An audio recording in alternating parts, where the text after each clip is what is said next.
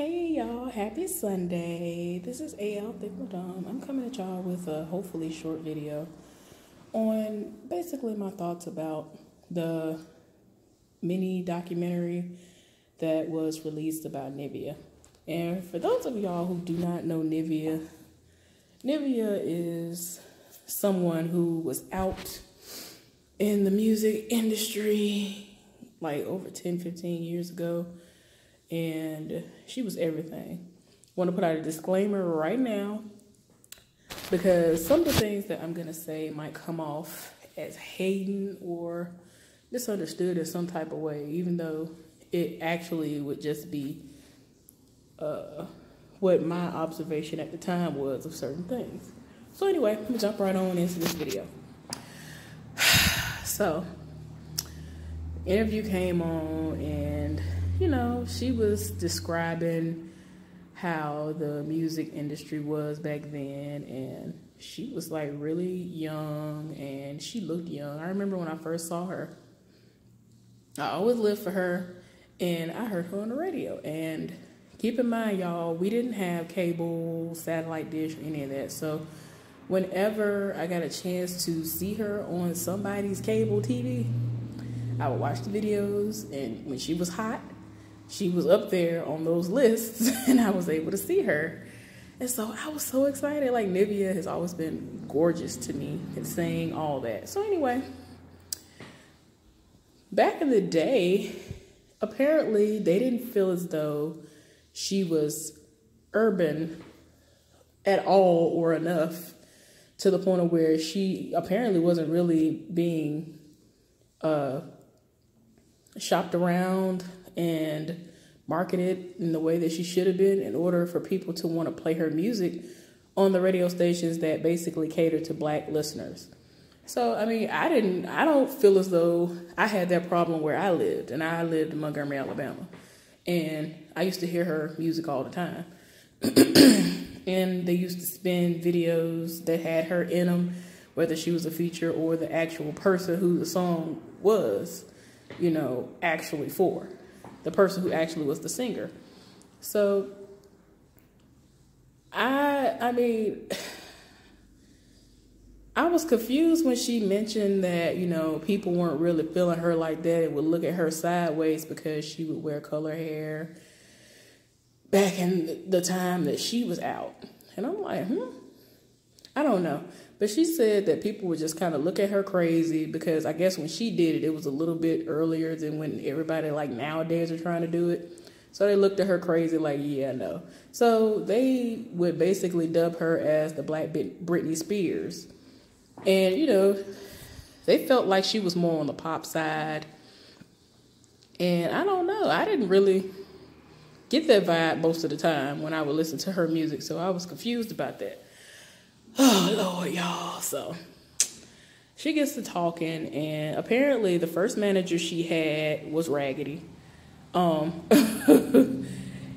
uh, even though she did get on because of them, this person like didn't graduate school at all. Like they had a ninth grade education.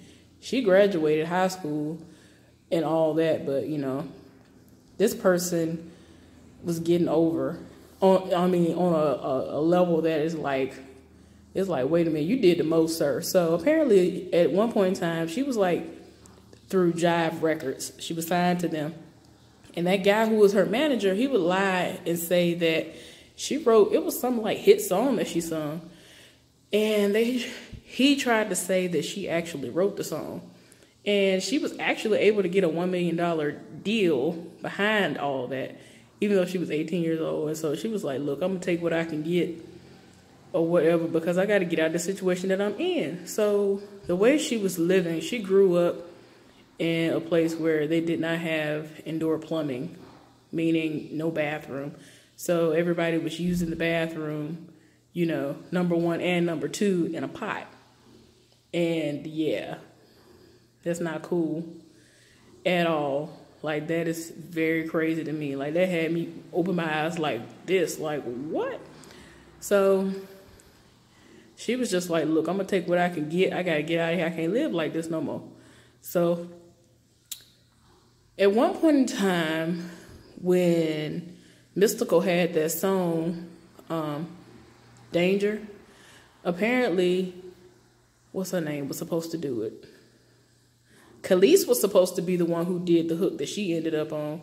And for some reason that didn't work out. So they were like, well, throw the new, throw the new girl on there. And so that's what she did. And she ended up touring with Mystikal. So she was talking about one instance where she came on the stage and I guess she did performances and stuff like before him actually coming out.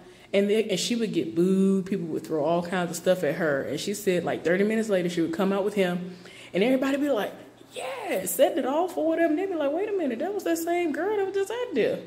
What? I'm like, that is crazy. How y'all hate her? And she's basically sounding the exact same, except she's basically performing with somebody else, and now y'all here for it. Like, that's crazy. So, I thought that was so crazy. So, uh, eventually things ended with that management situation, and she ended up, she actually was a writer. She just didn't write that song. So she started developing her writing skills. And um, in the midst of all that, I think when she was with the first manager, um, she had music out. And Lil Wayne heard of her and he reached out and you know told some people like look i want to work with her. So they ended up meeting up. Come to find out he was like yeah i ain't trying to work with you. I'm trying to get your number. So like the whole time while this interview this particular interview like currently right now is happening and she's discussing what happened back then she's kind of gushing and you know the way she's reminiscing about how everything happened with how lil wayne rolled up on her and, you know, she was making it seem like he was all, you know, charming and all that. And, you know, they became an item. And he actually proposed to her. And she was like, well, something that a lot of people don't know is that I was wearing the engagement ring that he gave me in the laundromat video. And so they ended up panning over to that video. And I was like, what? It was a big old rock, too. Like, y'all, it was, I was just like, what? So, anyway, for some reason they didn't work out and the dream came along and he was basically trying to manage her and uh, he was helping her write. And you know things started out innocently and she said they basically became became partners in life and came out with all this good music and you know everything seemed fine.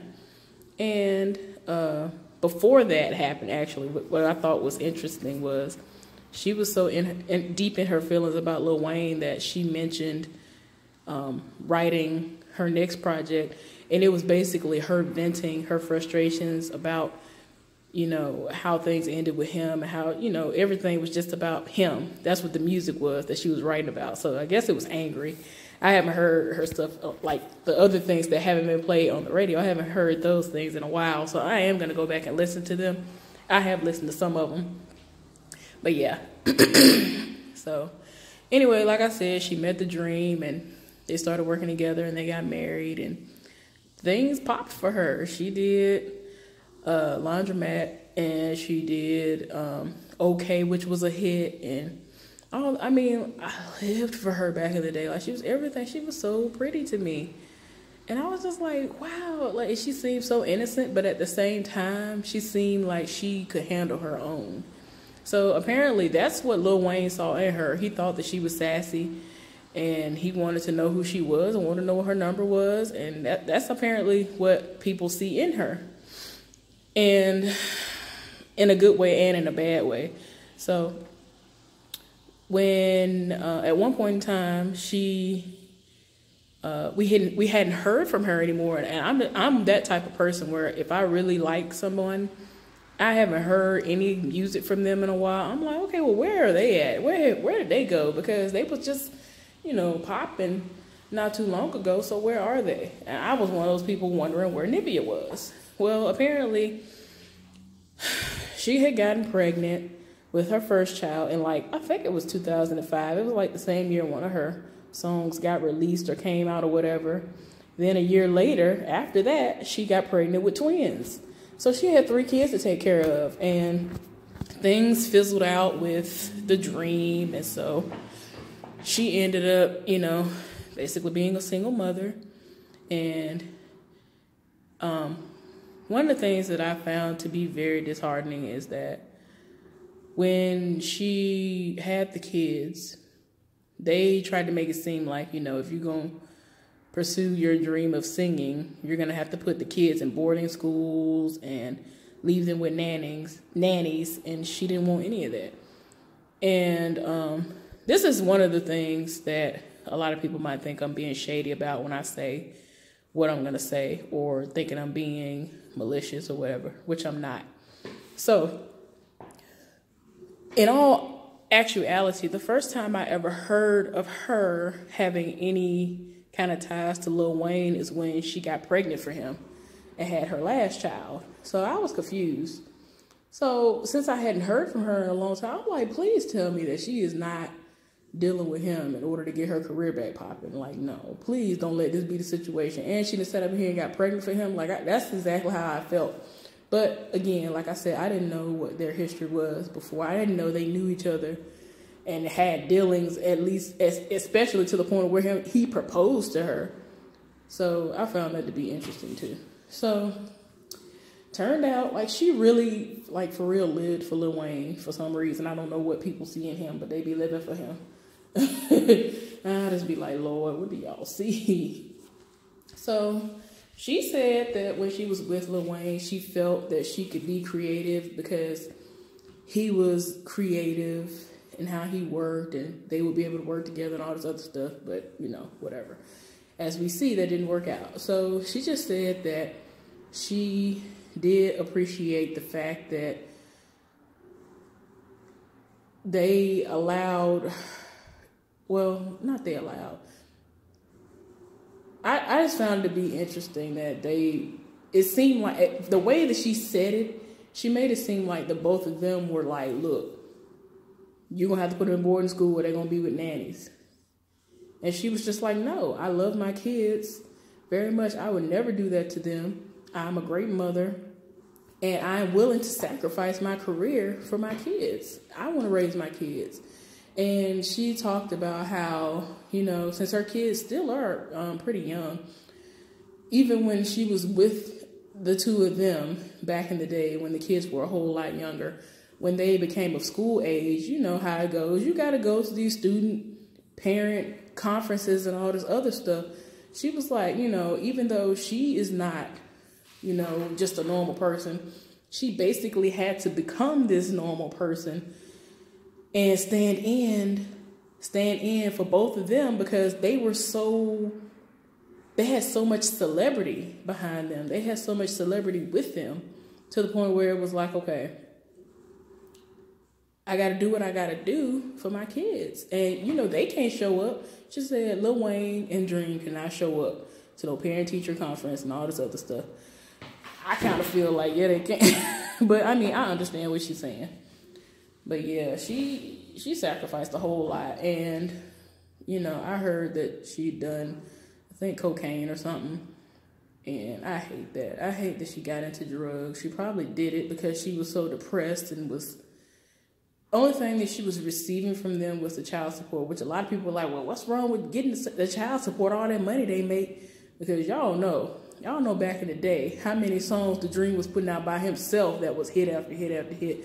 And Lil Wayne still making money hand over fist. So, I mean, pretty sure she was taken care of exceptionally well financially as far as being able to take care of the kids. But the way she said it, I'm thinking that she's trying to say that, well, I don't know. Because it's like she said that they were great fathers too. And she had like pictures with them all being together or and you know whatever. So I don't understand. I don't understand what she really really meant when it came to that because they apparently they were I'm guessing the only thing I can really think of maybe she was saying they weren't willing to help her when it came to her career, like getting her career back off the ground. Because I mean, I don't know. I don't know. That's what I'm I'm guessing it had to be about because it's ridiculous. Why would you not help her. Like she was she sold. Like oh well well well wait a minute wait a minute. Well to me i thought she did well over here but from when she did this interview she was saying that she would sell out overseas and she would travel overseas and really do well overseas. Like she would do well in other countries and come back here and they won't even play her. You know what i'm saying? They wouldn't even play her music like that in most areas. And i just was just like what like that made no sense to me so I just feel like she's one of those people that she was, I guess, dealt a bit a bad hand, so to speak. I don't know, and you know, it, it made me really sad. Like I actually shed a tear to, at like two points in this video that um, they did for the documentary, where she was saying that you know she loves her kids and she sacrificed for her kids. Like she started really crying, and she was just like y'all, I just can't. It was it was a lot. She got to crying, and she was just like, maybe it wasn't my time, and she was saying that she didn't understand how other people were basically like basically like her. Like she mentioned Erykah Badu and she mentioned Kelis, and she was saying she could she saw how they were able to break down the barriers, and people would look at them like they were you know out of the box and kind of perceived as being weird and how they do their music, but they were able to break through. And so she just started questioning herself, wondering like, what is it about me that I'm not able to break through? Especially like over here in the States. Like everybody, I guess like um like Bridget Kelly. I don't know how true it is, but she was saying that she does exceptionally well overseas and you know in uh, in London and all these other places or whatever and I don't know I don't really hear anything about her here. Even when she was popping a little bit like way back in the day, I very rarely heard anything about her. But she does well anywhere that's not in the United States. I never understood that. So she was like, she had so many moments where she was just crying and she was like, maybe it wasn't my time. I don't know what it is. And I was just like, Lord. So after all the crying and stuff,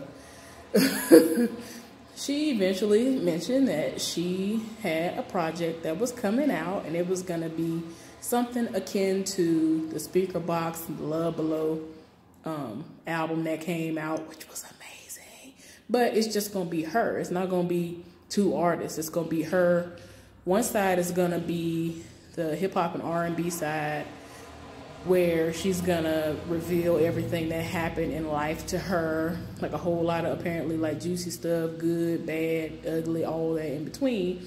And the other side is gonna be the acoustic side, where she references what's his name? Was it uh Randy Watson, Sexual Chocolate? She said that's kind of how that's gonna be, how his personality is. That's how it's gonna be on the album. And she described what the video, uh, well, I'm sorry, what the visual uh, artwork would look like on it. And she said it was going to be her face. And it's like one side was going to be her made up and done up and all that with the weave and all that stuff. And the other side was going to be her with no makeup on and her natural hair or whatever. And I'm very interested. And um, I meant to watch a video. I don't know if it actually was a full-on video or if it was just um, me being able to listen to audio, but of a song called Circles that um, is supposed to be out that's on this album. So hopefully it's good. I don't feel like she's gonna disappoint, but I don't know because of the drug use. You know how some people like Bobby Brown to me don't sound. He sounds terrible. But I, I feel like she is gonna still sound decent, still sound good. I'm rooting for her, and even though she's in her 30s, I don't feel like it's too late for her. So hopefully, this time around, she'll be able to go far. And oh gosh, y'all, one of the things that she mentioned, oh my gosh, I was like, she mentioned something about how at one point in time in her career, they were basically um, marketing Ciara. And because Ciara would be like, you know that song, My Goodies or Goodies or whatever it is, and they were able to mar- market her for that song, and she said that she she said that they didn't know how to market her for any kind of music like that because it's like how can you market somebody who looks like her? Meaning she has all these tattoos she has really sassy type of personality.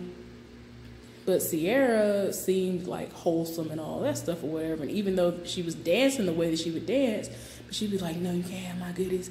And i guess like if you were to look at her um, and have her tattoos and stuff exposed you wouldn't it wouldn't be believable, I guess, that she's that she's the type of person you'd be like, oh my goodies, my goodies, you can't have my goodies and all this other stuff. You know, singing any of the songs that are like that. I guess that they really didn't feel like they would be able to market to anybody and say, okay, this is believable. We could sell this to somebody. So I just feel really bad that her life has gone down this road as far as the music side is concerned. And she she literally said out her own mouth that the record execs or whoever said to her that people don't want to have sex with her. So it's kind of like the different conspiracy things and other things that I've been hearing about for years upon years that if you are open to allowing all of your orifices to be, you know, penetrated and you have that certain look, then you'll go far in the music industry and even in Hollywood itself with just acting. And she said that she was not here for none of that type of stuff anyway. And they just straight up told her that you're not effable. And I'm just like, who says that to somebody? What? Like, y'all, I cannot. Like, a lot of the times, some of the things that I saw for myself, I'm kind of glad it didn't work out because I think that I would have gotten caught up in some of the stupidity and I would have had to call some people out on some stuff and then watch my back after the fact because I'm not here for that stupid stuff. So, Nivea, I wish you the best. Your children are beautiful. You are gorgeous. Only thing, I mean, that really changed about Nivea was that she got thicker. Like she had the kids.